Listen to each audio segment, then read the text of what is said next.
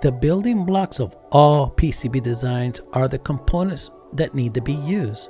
However, finding, creating, and using these parts can be a daunting and overwhelming task. With millions of parts out there in the world, wouldn't it be nice to have these parts readily available at your fingertips, validated, verified, and complete with schematic symbol, footprint, and 3D data? Well, let me tell you about SnapEDA add-in. SnapEDA has created a Fusion 360 add-in that will give you access to their repository of components that consists of millions of parts. In a matter of moments, you can search and select components that need to be added to your design. If the 3D model is available, that's going to be mapped just as well.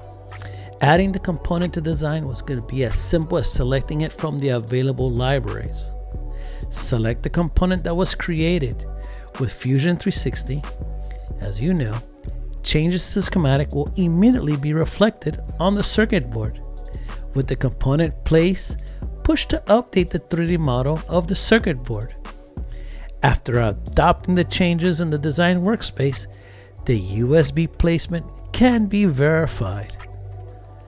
Join our community of over half a million of users taking advantage of the SnapEDA services. All this and more with Fusion 360.